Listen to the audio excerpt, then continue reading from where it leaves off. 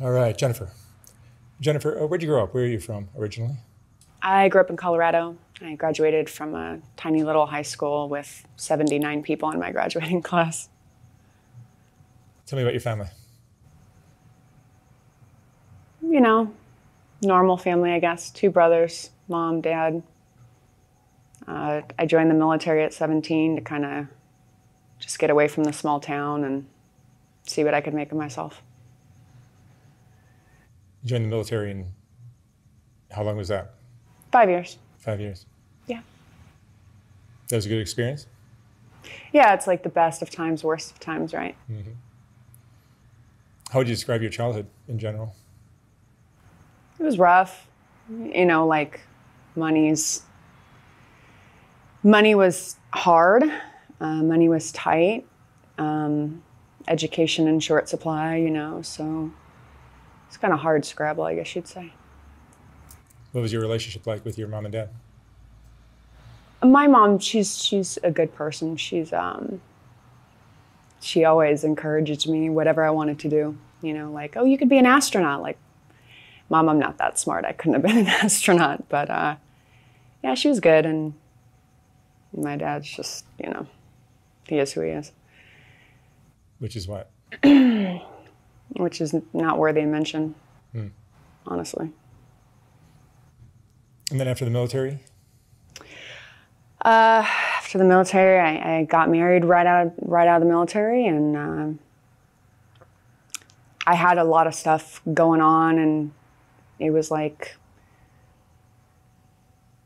I don't know, just uh, I got into acting as like a way of dealing with the stuff I was going through, and it was great because you could either go to the VA, and the VA would be like, you know, what's wrong with you, or you could go to an audition, and they'd be like wow, your mental illness is so vulnerable. like, you're so vulnerable. We applaud this. And so I was like, wow, I could get paid to like be wackadoo, or I could just go to the VA and be mocked. So I chose the more interesting option. you became an actor. Yeah. And it's worked out pretty well. That's good. yeah. You're in the right town for it now. Yeah, I am. It's worked out. And your marriage? Yeah. You're, you're still married? Yeah. And you've, you've been through some health issues. Yeah. Tell me about that. So, I was here in California, and uh, I mean, everything was shut down due to COVID in 2020. And my hair started falling out, and I just wasn't feeling well. And I called my doctor's office, and they're like, you know, we're really not seeing people unless it's cancer patients. We're going to kind of wait till COVID dies down. And I was like, yo, yeah, I, like, I totally get that. So, I waited and didn't get any better. And we ended up moving to where it's not important, but I went into the doctor because the COVID restriction weren't as weren't as bad outside of LA County. And they're like, "Yeah, your white blood cell count is is elevated. Like, let's see what's going on." So I went in and I had some tests done. They couldn't figure anything out, and then I went in to have a full body scan, being a redhead with green eyes and skin like a ghost. Went in to have a full body scan, and there was a spot on my foot, and it was like, I don't know, it just looked like a freckle, like started itching. I thought, okay, maybe mosquitoes love me, maybe it's that. And he said, What's going on there? I said, I don't know. And he felt it, and there was a nodule underneath it. And he said, I don't know what that is. Let's go ahead and take it. So they biopsied it, and it didn't look like anything on a poster, right? Like melanoma is like all these like skin growths where you're like, clearly that's cancer. I didn't know, and uh, he called me in December 21st, 2020. And as soon as I picked up the phone and it was his voice, I knew. And I said, okay, what do we do? And he said, we'll just cut it out. It'll be fine. It probably didn't spread. So I talked to the surgeon, and the surgeon said, no, no, no, no, no. I, there's a 3% chance it spread. And I got off the phone and I was like, I don't have a good feeling about this. And my husband said, ah, you're just being, you know, it's fine. 3% chance. Went in for surgery. They operated on my foot, took skin from my leg to close it back up, took lymph nodes out of my groin. And uh, on the ninth day, pathology was supposed to come back in seven. And on the ninth day, he called at 7 p.m. And uh, yeah, I knew. And I remember I said to him, I said, You said there was a 3% chance of it spreading. And he said, I'm sorry, you're my 3 percenter. So, stage three. Um, I was the most fit I've been in my entire life. Four kids. Been married for 18 years. And uh, stage three. And I looked perfectly healthy. So, it's a lot. And, and I and I always thought if I were to die, like if an asteroid comes tomorrow, what can we do, right? And I've lived such a great life. Like you can't even write the life that I've had. But to orphan my children, that was hard to even think about that, you know? It was hard. And the whole time, I had to keep it to myself. I couldn't be open about it because at the time I was on Stranger Things. And I thought, if they know, they might try to write me out out of compassion. Like, oh, she has to focus on her health. Um, let's, you know, give her some time off so she can focus on that. But, but I didn't want that. I just wanted to, to try to be normal. And uh, the show that, uh, that I host on the CW, you know, I, I couldn't tell them because if your host is out, there's a good chance it'll get canceled. And I have a crew, and I love my crew, and they have mortgages and families. So just had to pretend that I was fine. And I felt so alone, so alone. And I couldn't talk to anybody. And uh, I just basically had to fight it on my own. And then the place that I moved to, um, I didn't have time to meet anybody. So my only friends were the oncology team, like my oncologist, my nurses, the phlebotomist. The way I found my way around the new town was based off of the oncology center, my cardiologist, all my specialists. And it was so isolating. It was so isolating. Um, and I remember when I showed up to shoot Stranger Things, they kind of gave me like a like a double take because I had lost so much weight. And um, somebody made a comment to me like, "Are you are you being method?" Because my character's going through this really hard time, and I just laughed and I was like, "No, I'm not being method." But they, you know, people were concerned. I was just terrified to lose my jobs, you know? And they're great. They're great. They never do it out of anything other than concern. But it's scary. I have children to feed. It's hard because I was trying to balance everything and act like everything was okay. And I couldn't really take off completely because I needed to work. So it's just isolating. And, and I would go on set of different things and I, I would hear people, you know, as, as we do, we complain about mundane things the traffic, the weather.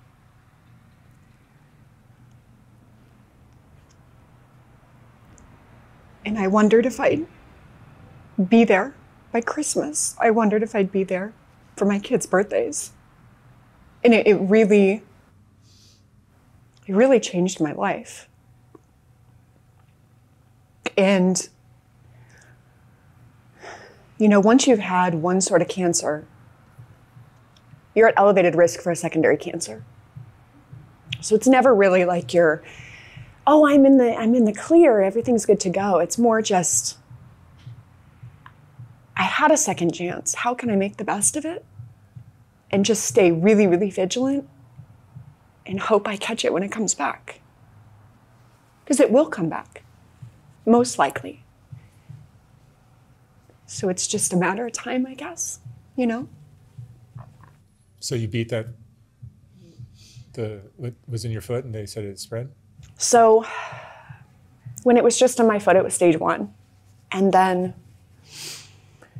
by the time they got to it, when they took the lymph nodes out, uh, the lymph nodes showed there was cancer. So it had spread quickly, and they, they ran tests, and I, I don't have any genetic markers for it. Um, melanoma is, is common in post 9 11 veterans. Um, if it's on the scalp or the head, it's mainly because of sun exposure in the desert. Other areas, it could be because of chemical absorption, all the chemicals that we're exposed to. So I don't know what it's from. There's not a genetic link there. But I do carry the gene. I'm BRAF positive, which means that basically it kind of grows faster than it normally would. It could spread faster. So I've had to be just extra vigilant about it. And, you know, halfway through treatment, I was feeling okay. I was, just really run down. But I remember I, I went in for a scan and I went in for the results, and she sits down, the physician's assistant, and she rolls the stool up to me. And I promise you, I wanted to do this and kick the stool out from under her and run out the door. And uh, she told me that they found something on my scan in my liver. And I said, Well, what is it? And she said, I don't know, but it wasn't there three months ago. And so, you know, I left thinking it, it was stage four, and that was it. And for 12 days, until I had a biopsy, a liver biopsy, every morning I woke up thinking, I'm stage four and I'm gonna die. My kids won't have a mom and I'm gonna die. So thankfully, that's not what it was. Against all odds, that's not what it was. But I'll never forget how it made me feel and how it changed me and how that made me even more proactive. So, right after that, I went and I scheduled a mammogram, even though I wasn't old enough. I scheduled, I was 39 and insurance was trying to fight me. I scheduled a mammogram, an upper endoscopy, a, a, colonoscopy. I went and saw my eye doctor because melanoma can show up in the eye sometime. I went to the dentist and had my gums checked. I went to my OBGYN because sometimes it can show up in the nether regions. I checked my entire body like a hypochondriac.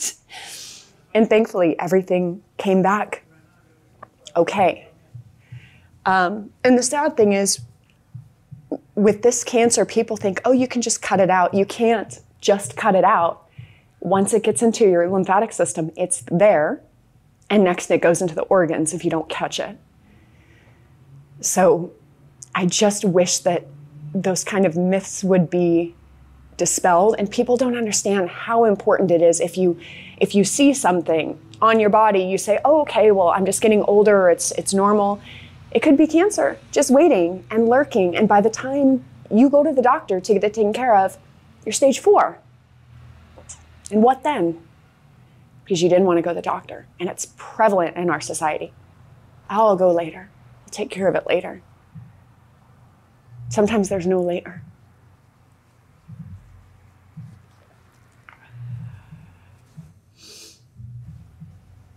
I'm really lucky to be alive.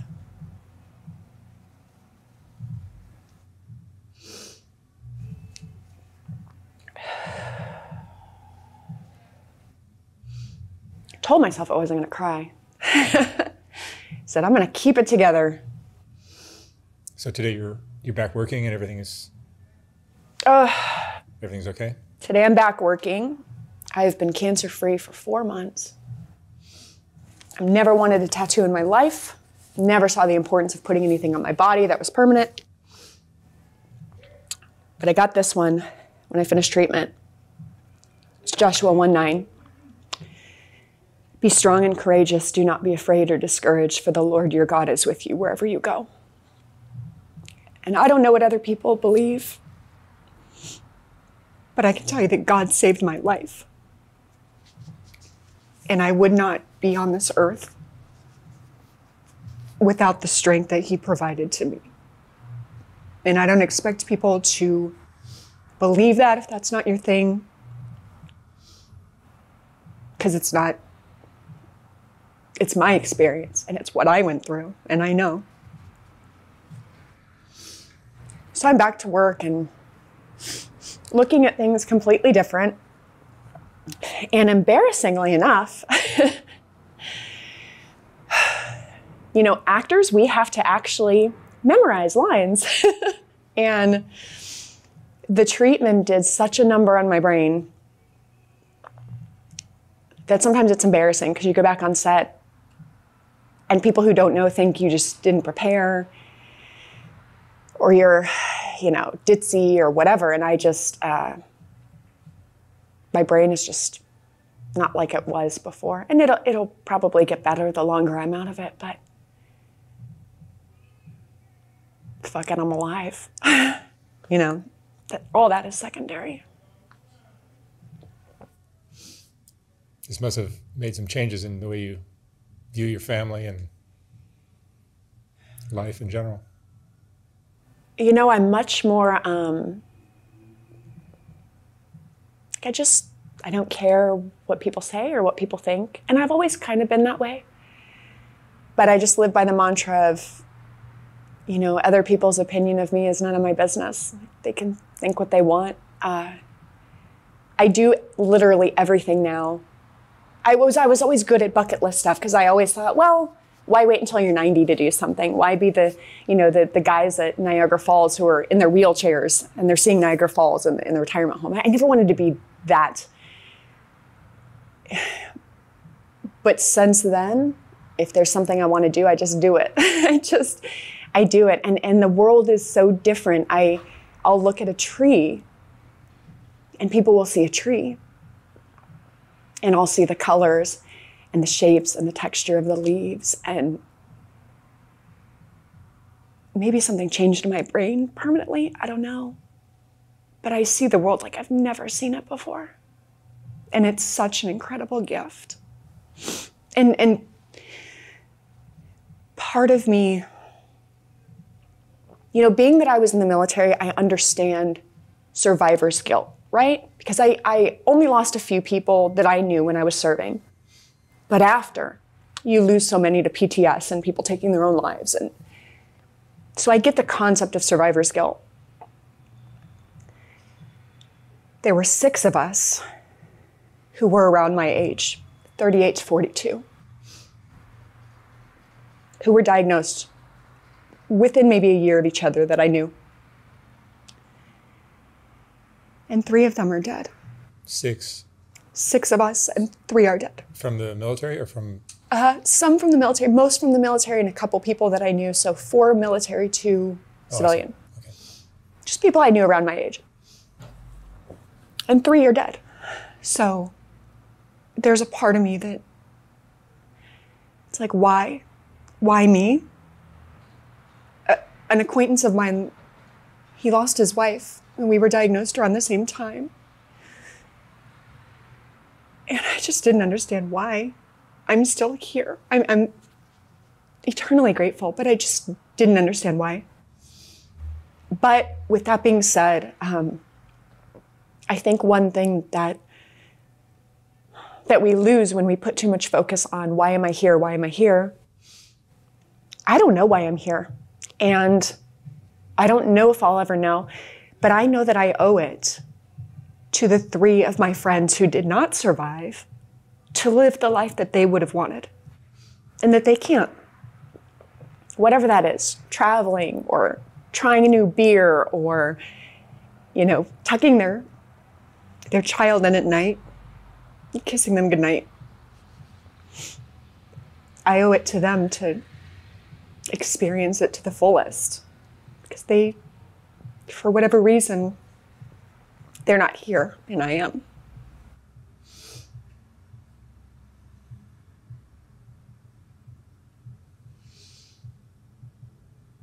I'm sure I'm a mess by this point.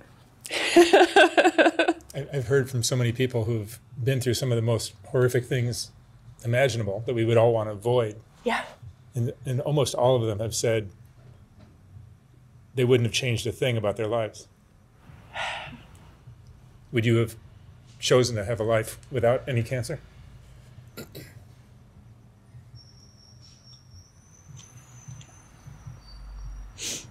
This sounds insane to people.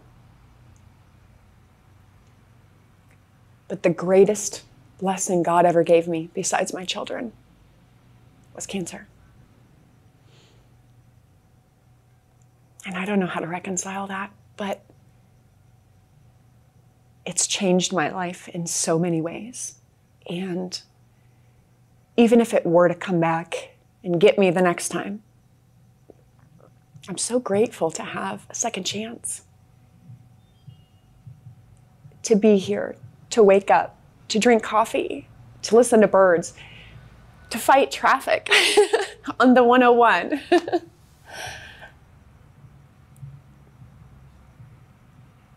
I wouldn't change it. The only thing I would want to change is I didn't want that heartbreak for my kids. That was hard on them. It's the only thing I would change. But you're more able to appreciate life now? Understatement of the century. life is an incredible gift. So, all the things that you want to put off until tomorrow, don't, because you, you don't know. And I was in the prime of my life and healthy, and we had just started building our dream house, and just everything in my life was perfect. Your career. My career. And then this you just never know. So, so when you say I'll do it later, do it now. When you say, well, I don't want to do it because it's hard, do it anyway. You don't, you don't know. Heck, I could leave here and get hit by a bus walking back to my car. But I would know that the last six months since I've been off treatment, I've lived even more than I already have. And I've said things to people that maybe they find too forward or too, you know, we live in a world of, of memes and Snapchat and but now I'm just really honest about how I feel about people. And if I miss someone, I'll text them randomly and say, Hey, I miss you. Let's spend time together. Let's do this. I'll text someone a random memory. And I think most people think, Oh, I don't want to do that. I'll be a clinger or I'll be weird or, or I'll be overly sentimental. I plan to leave this earth with nothing unspoken. And, and one of the hardest things that I did during my treatment, you know, people ask me, would you rather have a slow death or a quick death and not know? And I said, oh no, a slow, a slow. Because I was able to, to write my kids letters and make videos. And, you know, I, I wrote my, my boys are still young my girls are grown up, but I wrote my boys letters for like their high school graduation, their wedding. I planned what I would put on my husband's Match.com profile because I, I didn't want him to be alone for the rest of his life. Because um, he wouldn't do it, you know? And I got to to do a lot of tying up loose ends that thankfully I didn't need to. But there's something to be said about having the opportunity to do it instead of just being snuffed out in a minute and leaving so many things left unsaid.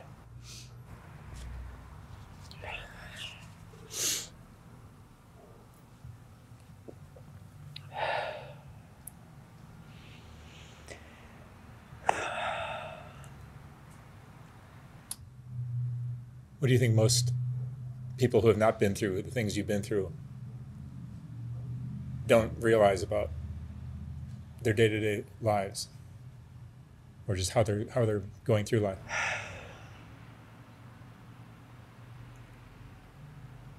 I feel like people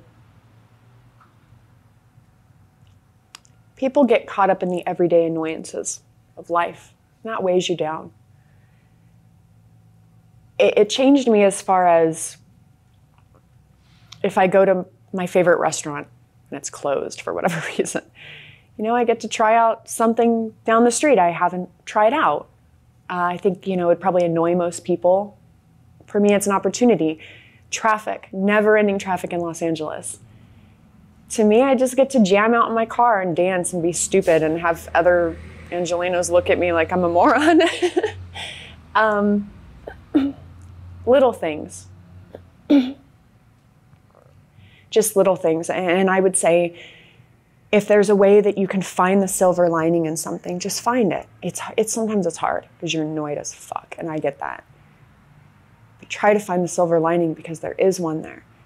And my silver lining was, yes, I had cancer. I'm still technically stage three NED, which means no evidence of disease, but I'm still stage three because they don't know. They won't know until it pops up in an organ that I'm stage four. So it's possible there's no cancer. There's possible there's cancer, but it just hasn't popped up in an organ. So I choose to just live as if I'm completely good to go and I'm completely healthy and fine until that scan shows that I'm not. And then I'll deal with it. My silver lining is yes, it was stage three. Yes, it was 18 months of treatment. Yes, it was terrible. Sick. I was sick as shit, but it wasn't stage four. It wasn't stage four. And that's all that matters to me right now.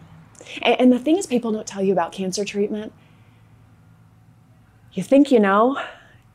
And my cancer twin, my friend Leanne, she, she was a Marine, and we had cancer treatment at the same time on the same day every month every three weeks they'd have treatment. And she told me, they don't tell you these things. She said, you'll have massive bowel problems. You'll get hives. You'll be sick. You'll have heartburn. They don't tell you any of these things. They tell you, like in the pharma ads, all the side effects, right? They don't tell you really how sick you're going to be. And that it really, I felt far more sick from the treatment than I ever did the cancer. And you don't know until you go through it.